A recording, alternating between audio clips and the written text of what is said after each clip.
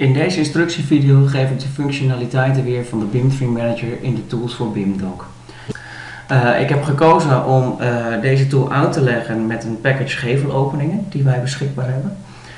Um, de BIM Tree Manager biedt de mogelijkheid om binnen een Revit project of een package uh, elementen te controleren, te bekijken, aan te passen en daar naar ieders voorkeur wijzigingen in door te voeren. Dit uh, resulteert in het feit dat ik dus niet elke family apart hoef aan te klikken om daar een instelling van te wijzigen, maar dat kan ik dus met meerdere families tegelijk uh, invoeren. De BIMtree Manager wordt opgestart door hier op BIMtree Manager te klikken. Uh, de BIMtree Manager gaat mijn data uit mijn model doorlezen en ik krijg vervolgens een keuzemenu om aan te geven welke categorieën ik geselecteerd wil hebben binnen de BIMtree Manager.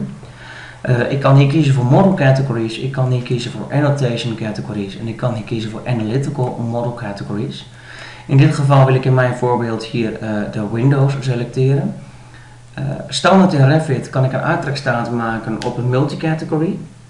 dat betekent dat ik meerdere elementen in één schedule krijg. Maar ik zou dan moeten filteren om te zeggen ik wil alleen maar doors of alleen maar Windows hebben. In de Tree Manager kan ik gewoon specifiek aanvinken welke elementen ik van welke categorie wil hebben. Dus ik heb de mogelijkheid om hier nu meer categorieën aan te klikken en daardoor een gemaleerde schedule te krijgen die ik naar eigen inziens aan kan passen. Nou, op het moment dat ik dus voor OK kies, zal dus de BIM Tree uh, uh, Manager zal dus de informatie weergeven van het element. De uh, Select Categories knop is dus eigenlijk de knop waarmee ik dus net in mijn menu zat en gekozen heb voor Windows. Zou ik die hier weer aanklikken, kan ik dus hier ook zeggen, oh ja, maar ik had alsnog generic models erbij moeten hebben of ik wil hier walls bij hebben. Dat doe ik in dit geval niet. Maar dat menu die u net kreeg, die kunt u hiermee terugkrijgen door Select Categories aan te klikken. Aan de linkerzijde heb ik een groot wit veld. Daar staat een, eh, een, een, eh, een boomstructuur van elementen. En die elementen die worden eigenlijk hier in een lijst weergegeven. Afhankelijk van welke object ik selecteer, zal dus in, de, in het veld aan de rechterzijde meer of minder informatie komen. Dit komt omdat ik hier op het type family aan, uh, klik. En dat betekent dat daar hier dus andere elementen in zitten. Op het moment dat ik dus hier klik, wordt dus alles weergegeven vanuit mijn project. Deze configure grouping kan ik uh, aanpassen naar, naar gebruik. Hier wordt nu op family gesorteerd, op type gesorteerd en vervolgens op level. Dat is ook terug te zien in het menu die hier staat. Hier wordt op family, op type en op level in gele velden ingevoerd. Family, type en level. Ook de boomstructuur aan de linkerzijde wordt hier in dezelfde structuur aangegeven. Zou ik om wat voor reden dan ook eerst op level willen zoeken, vervolgens op family en dan op type, kan ik dus het level aanklikken. Hier kiezen voor move up. En hij zal dus nu mijn boom opnieuw aangeven in level en dan pas op de kozijnen of op de elementen die hierbij in zitten. Zo kan ik dus specifiek aangeven van een bepaalde uh, level dat ik daar wanden van wil zien of dat ik daar vloeren of balken van wil zien. Uh, die ik dus hier zelf kan sturen. Nou, naast de boomstructuur die ik hier aan kan geven, uh, heb ik ook de mogelijkheid om architectural, mechanical, host, selected parameters of assemblies uh, informatie van te vinken. Zou ik bijvoorbeeld kiezen voor architectural, dan heb ik hier ook nog weer een room name en een room number. Dus ik kan ook nog hier weer op room name, room number gaan zoeken.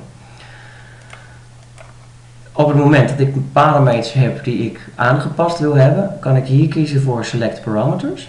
En bij select parameters heb ik dus de mogelijkheid om meerdere parameters in mijn veld te zetten om die straks aan te gaan passen. Bij de select parameters heb ik als voordeel dat daar niet alleen maar shared parameters zitten zoals standaard in Revit worden weergegeven, maar ook project parameters en niet shared parameters.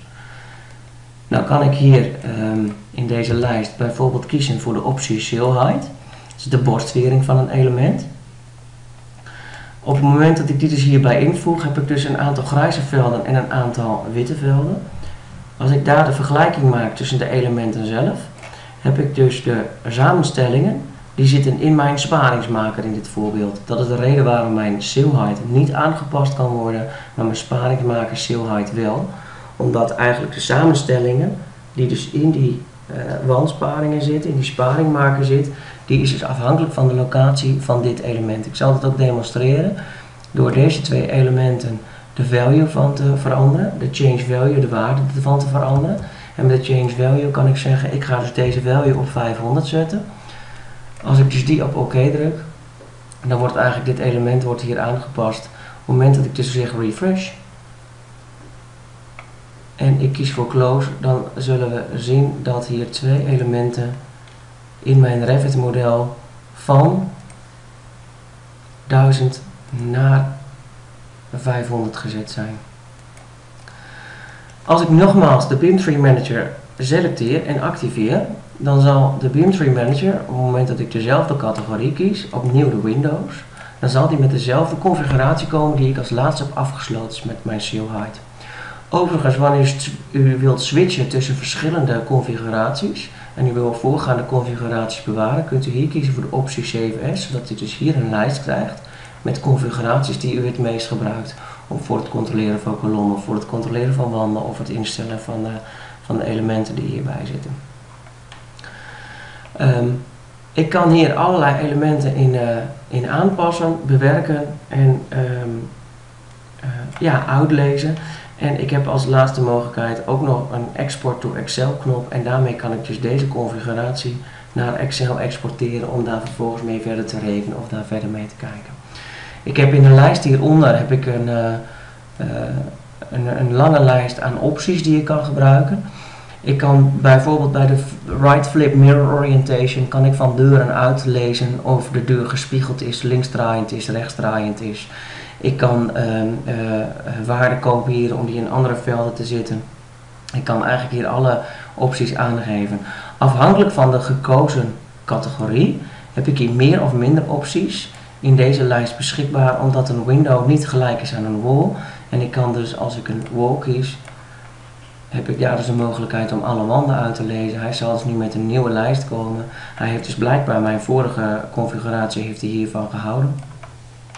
En ik kan dus hier de andere elementen zien. En zoals u kunt zien is de right flip mirror orientation uitgegrijsd. Simpel omdat een, een wand niet een links of rechts draaiende optie heeft. Daarom is deze optie hier uitgegrijsd. Um, de BIM Manager is floating boven Revit. Dus ik kan dus eigenlijk deze minimaliseren en op de achtergrond mijn elementen gaan bekijken. Op het moment dat ik dus de walls heb, de basic wall en de type, dat is weer de configuratie die ik heb aangegeven. Mijn base offset van mijn wall, die kan ik bijvoorbeeld instellen en daarvan kan ik zeggen, change deze value, nou als voorbeeld naar 500.